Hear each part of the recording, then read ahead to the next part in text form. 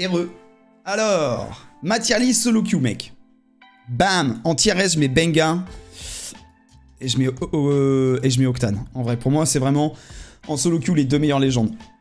Parce que solo queue, partons du principe. Attendons, attention. En solo queue, où ton objectif c'est quoi qu'il arrive de faire des points. Donc, que si tes mates, donc de jamais mourir en premier dans un fight, c'est ce qu'on essaye de faire. Et que si tes mates meurent, tu puisses te barrer et que tu puisses échapper à d'éventuelles mauvaises rencontres jusqu'à ce que tu arrives dans un top où tu ne perds plus des points. Donc top 4, top 5, selon ton elo, etc. Ok? Bah pour moi, le best du best, c'est ces deux-là. Valk, Valk, je vais la mettre juste en dessous. Je vais t'expliquer pourquoi. Pourquoi? Bengalore Pourquoi? Parce que tu peux smoke. Tu peux ulti dans tes pieds et smoke, personne peut te suivre là-dedans. À partir du moment où tu mets un ulti sur tes pieds, que tu cours dans la direction opposée de l'équipe que tu viens de croiser, tu ulti tes pieds et tu smoke, personne peut te suivre dans ton ulti. Le premier connard qu'il fait, ou tu te retournes et tu le finis parce qu'il va prendre tarif, ou il va prendre un stun tellement monstrueux que de toute façon tu vas lui mettre 200 mètres. Et ensuite, elle a le meilleur passif du jeu pour escape, je pense. Meilleur Coctan, meilleur pass feeder. Pourquoi? Parce qu'à chaque fois qu'on te tire dessus, on te permet de courir plus vite. Contrairement à Octane où quand on te tire dessus, genre quand t'es en dehors de la zone avec Octane, si on te tire dessus et que tu veux t'échapper, t'es obligé de t'enlever des PV. Bam, bam, jusqu'à ce que tu arrives à... Et la zone te tique en plus et tu peux crever comme ça. Alors que Bengalore, à chaque fois qu'on te tire dessus, ça te met le même boost qu'Octane, sauf que tu perds pas de vie. Et en plus de ça, t'as des smokes qui peuvent te cacher des ennemis. Donc c'est ultra fort, je trouve en solo queue, c'est beaucoup beaucoup trop fort parce que, euh, bah, pour toutes les raisons que je viens de te citer. Donc pour moi c'est tier S et Octane bien évidemment, il n'y a pas besoin d'expliquer pourquoi, tu peux te syringe tu peux te syringe à la chaîne et, euh, euh, et c'est ultra fort aussi pour mettre de la distance. Avant, avant que Pathfinder se fasse nerf, j'aurais mis Pathfinder ici mais là je vais le mettre là tu vois. En fait le problème de Pathfinder c'est quand tu sais le jouer, d'un point de vue escape, quand tu cherches à t'échapper, quand tu sais le jouer, tu mangeras tout le temps des cooldowns de 30 secondes. Tout le temps parce que tu vas tout le temps mettre des putains de grappins. Si tu sais jouer Pathfinder, tu mets forcément des grappins, des beaux grappins, qui te permettent de prendre beaucoup de distance. Donc tu te tapes constamment des cooldowns à 30 secondes, contrairement aux 15 je crois qu'il y avait avant son nerf il y a longtemps. Et donc je préfère être poursuivi par un Pathfinder que par un Octane. Parce que si un Pathfinder me poursuit, même s'il me met un très beau grappin, il y a un monde où je prends un bon virage, un bon dessus de batte, etc. Et ensuite j'ai 30 secondes pour le distancer avant qu'il ait de nouveau un grappin. Contrairement à un Octane où lui il peut se ringe à la chaîne et m'attraper à la chaîne, tu vois D'ailleurs, on en profite, précision, le nombre de mecs de Gugus que je vois tirer qui chase une Bangalore et qui lui tire dessus, faut arrêter de faire ça. Hein. Si ton but c'est de tuer une Bangalore, parce que c'est la dernière de son équipe, arrête de tirer quoi. Tu cours jusqu'à ce que tu sois à moins de 20 mètres d'elle et seulement quand t'es à côté d'elle tu tires. Faut arrêter de tirer dessus à 200 mètres parce que c'est à cause de connards comme ça qu'on n'arrive pas à finir des Bangalore, les mecs qui leur tirent dessus à 600 mètres là. C'est beaucoup trop fort, il faut, il faut tirer. Si tu chases une Bangalore, il faut absolument lui tirer dessus. Et à l'inverse, si on te chase avec Bangalore, n'hésite pas à à, faire des petits S comme ça. Vous le voyez souvent le faire. Je fais des petits S à la con pour que les mecs me tirent dessus. Pour que je puisse, bam, avoir mon sprint. Et là, dès que j'ai mon sprint, boum, je pète une smoke et je fais un tout droit pour prendre le maximum de distance. Ok? Et, euh, du coup, donc du coup, voilà. En tier S, je mettrais ces deux-là. En tier A, je mettrais Pathfinder. Que en tier A, je vais vous expliquer pourquoi. Je mettrais Valkyrie. Valkyrie, pourquoi, pourquoi pas en tier S? Parce que, ok, tu vas pouvoir ulti, mais dans un fight où ça se passe mal, dans un fight où c'est la merde, tu n'as pas d'escape direct. Tu n'as pas d'escape euh, instantané. Ça veut dire que mets ton ulti en plein fight, tu vas te faire fumer quoi qu'il arrive quoi. La plupart du temps, euh, tu peux pas genre oh vite, je, sors de la maison, je mets mon ulti et je m'en vais quoi. Les mecs vont t'entendre, ils vont te déchirer, euh, etc. Donc oui, c'est très fort en solo à partir du moment où tu as réussi à prendre un tout petit peu de distance. Et pareil, du coup, Vraise vient ici pour moi. C'est la même chose mais à l'inverse. Oui, tu, tu vas pouvoir sortir très facilement du fight si tes mates font de la merde, mais ensuite, d'un point de vue survie, si tu fais une mauvaise rencontre sur la map, c'est pas comme Octane ou Bangalore où tu vas pouvoir mettre une grande distance. Tu peux te faire chase, etc. Mais dans un fight, tu vas pouvoir sortir facilement. Donc en solo queue, c'est bien. Si tu décides d'abandonner le fight parce que tes mates sont morts comme des merdes, c'est bien. Mais ensuite, pour rotate sur toute la map, la moins mauvaise rencontre que tu vas faire, ça va être compliqué de les distancer si jamais il y a un Octane ou un Pathfinder en face, par exemple. Donc c'est fort, mais ça va pas là. Donc en fait, les deux sont forts pour des raisons différentes. Enfin, le point faible de celle-ci et le point fort de celle-ci et vice-versa, quoi. Mais ça, c'est ma tier list solo queue. Euh, pour moi, ça, c'est le top du panier. Je mettrais Loba tier B quand même, parce que, euh, parce que t'as quand même un bon cooldown derrière le bracelet. Mais euh, Loba, que ce soit une mauvaise rencontre ou que ce soit que ce soit en plein fight, Loba, maintenant qu'elle a plus de stun, c'est quand même bien si tu fais une mauvaise rencontre ou que t'es dans un fight de merde, tu peux très vite balancer ton, actif et vite t'en aller. Le problème c'est quand même que l'actif il se voit, le problème c'est qu'ok, ton ulti, donc ça permet de bien te stuff quand t'es avec des, des, des, randoms éclatés qui meurent, si t'as pas beaucoup de soins, tu peux bien te stuff, mais l'ulti on le voit proc, donc ça attire les gens. Euh, le, le, bracelet il se voit, on peut pré-shot où tu vas tomber, etc. Donc, mais c'est quand même une belle escape et les games où on fait avec Loba, on essaie de on s'en sort quand même plutôt bien. Donc ça peut être, ça peut être très fort, mais c'est pas, pour moi, ça équivaut pas à ce qu'on vient de voir au-dessus, quoi. Bracelet pour escape et shop méga teamplay pour les randoms ou toi-même. Oui, voilà, ça reste quand même. Si par contre demain, avec Loba, on peut récupérer euh, les bannières des teammates morts, mon gars, je la monte ici, voire. Ouais, je la monte ici. Donc Loba vient, en haut et je mettrai ensuite en solo queue. En tier B, je mettrai H, Blood. Crypto, on l'a vu, c'est super dur à jouer. En fait, Crypto, c'est super fort, mais en solo, si les mates ils sont pas coordonnés et tout, je sais pas. T'as pas d'escape. Crypto, je le mets là.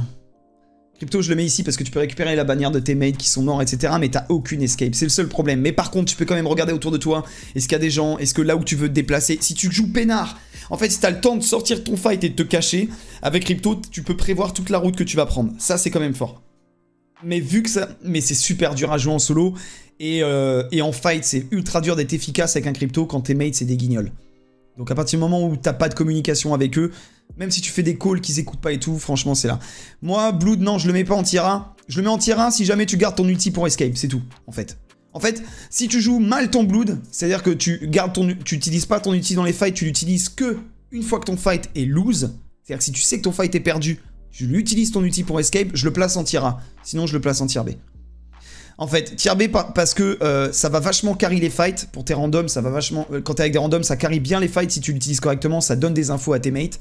Euh, et son ulti est super fort pour escape. En plus, tu vois bien où est-ce qu'il faut aller. Tu vois tout de suite si courir par là, c'est une idée de merde quand t'es sous ulti parce que tu vois trois points rouges qui clignotent au fond. Tu dis ok là-bas c'est mort. Donc si tu joues Blood en mode mal, donc j'utilise mon ulti que quand ça chie, il va là. Si tu le joues correctement, donc j'utilise mon ulti en plein fight pour pouvoir avoir plusieurs scans et carry ma team, je le mets là. Parce qu'hormis ça, t'as pas d'escape, quoi. Tu prends pas en compte les hitbox? Si, je prends en compte parce que si je prenais pas en compte les hitbox, j'aurais mis Mirage ici. Je troll 0, j'aurais mis Mirage par là si je prenais pas en compte les hitbox en solo.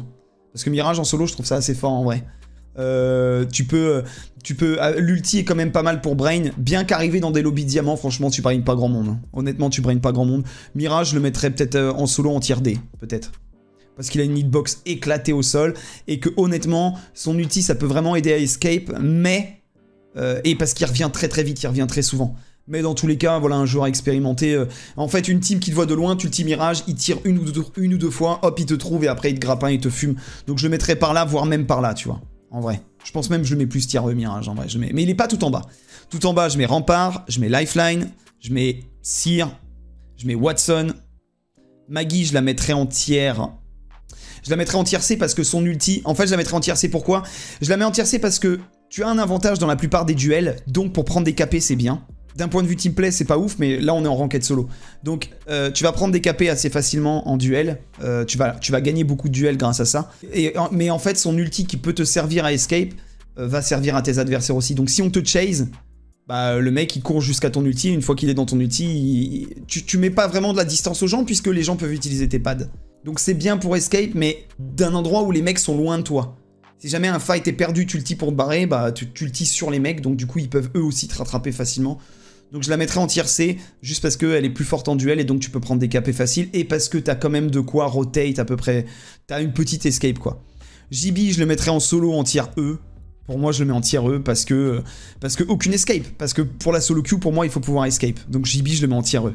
Je, je, pars pas du... Attention, hein, je suis pas joueur pro. Un joueur pro qui joue ultra bien JB, il te le mettrait sûrement là parce qu'il va pouvoir hard carry les fights, parce que, euh, parce que, euh, parce que lui dans sa tête il est pas en, mode escape quoi. Lui il va laver la terre tu vois.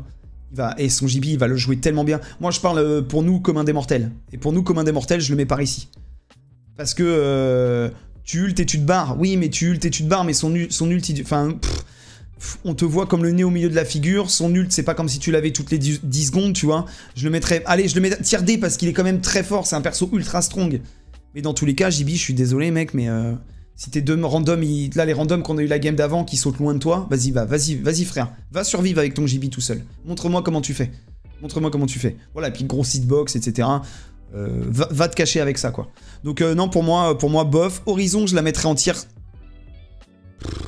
La mettrais en C, perso. J'hésite entre le B et le C.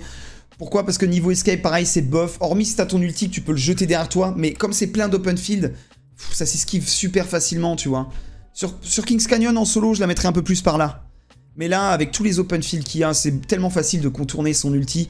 Et, euh, et, puis bon bah voilà, prendre la hauteur, ok c'est mignon, mais bon dans tous les cas bah, le mec court, il prend ça. Voilà, c'est pas un perso qui a beaucoup d'escape, et donc en solo queue, je trouve que c'est euh, bof quoi.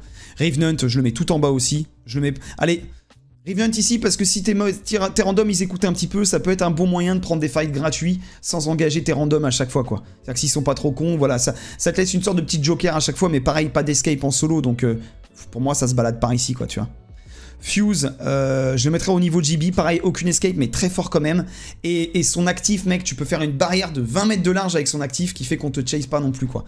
Ça peut être pas mal. T'as pas, pas d'escape, mais t'as de quoi quand même bien ralentir les ennemis qui te chase, et en, et fight, ça peut être très très fort. Donc je, mettrai, je le mettrai au niveau GB. Euh, pareil, sur King's Canyon, je le mettrai par là. Parce que t'as pas d'escape, mais vous m'avez déjà vu faire de la rankade avec Caustic et c'est quand même ultra fort. Si les mates t'écoutent un minimum euh, et que t'arrives à les motiver à jouer avec toi, tu, peux hard on peut hard carry des fights de ouf avec, euh, avec Caustic. Donc, mais sur Olympus, Caustic en solo, frérot, pareil, je le mettrai à ce niveau-là, voire à ce niveau-là. Plus ici même, plus ici en vrai. Euh, et voilà, et Fuse, tu peux aussi stocker voilà, plein de grenades, effectivement. Et si t'es tout seul, en fin de game, avoir masse grenade, si t'es en top 3, que les deux derniers teams se fight, avec Fuse, là, t'envoies les enfers, actifs, ulti, tes 20 grenades, et il y a un monde où tu sors un top 1 de nulle part avec, euh, avec Fuse. Donc euh, voilà comment je placerai. Je sais pas si vous êtes d'accord ou pas avec ça, à peu près. J'ai pas, alors j'ai pas demandé à KS, KS m'a pas fait de tier list en solo queue. Attention. Là, là c'est vraiment, c'est ce que moi, je me vois bien jouer en ranked solo, ce qui pour moi marche le mieux avec les arguments que je vous ai donnés et, mon gameplay. La façon dont j'essaye de jouer et de faire des points en, en ranked solo. Encore une fois, je parle de mon gameplay. Je parle de mon gameplay. Je pense qu'il y a beaucoup de gens qui mettraient H en tier 1, ouais, c'est possible. Mais moi, pour moi, euh, pour la façon dont j'essaye de faire mes points, je pars vraiment du principe que je suis tout seul et que si mes mates meurent, euh, ça va arriver très souvent et qu'il va falloir que je survive. Et pour moi, au niveau survie, tout ça c'est au-dessus. Tu vois Pour moi, tout ça c'est au-dessus. Oui, Benga c'est trop fort, mais moi ça fait 20 saisons que je dis que Benga. Depuis le début, j'arrête pas de dire que Benga c'est trop fort en solo queue. Hein. Tout le monde me dit oui, Benga, nanana, mais Benga frère, c'est vla fort en solo queue. C'est vla vla fort en solo queue c'est trop trop fort. Et c'est tellement fort que, tu vois, on vient de voir qu'il y a un pro qui dit qu'en même en équipe, c'est super fort. Mais en solo, c'est trop fort, Benga. C'est trop trop fort. Alors qui c'est qui est d'accord, pas trop d'accord? Perso, je suis bien d'accord. Je pense à ça après, je pense que voilà, on est dans le vrai. Euh, on est dans le... Je pense que c'est assez terre à terre, assez réaliste. Voilà, s'il y a des petits changements, ça va être des petits changements comme ça, ou des petits changements comme ça, tu vois. Je pense pas qu'il y a... Je pense pas qu'il y a des grosses grosses erreurs. Peut-être que certains pros viendront mettre JB plus haut. Peut-être. Je pense. Mais le reste, je pense que je pense qu'on est dans le vrai. Hein. Honnêtement, je pense qu'on est dans le vrai. Donc c'est mon avis. C'est mon avis, c'est mon avis. Pour la renquête solo, j'entends bien. Attention, hein, pour la renquête solo, avec un gameplay bien particulier, celui que je joue là.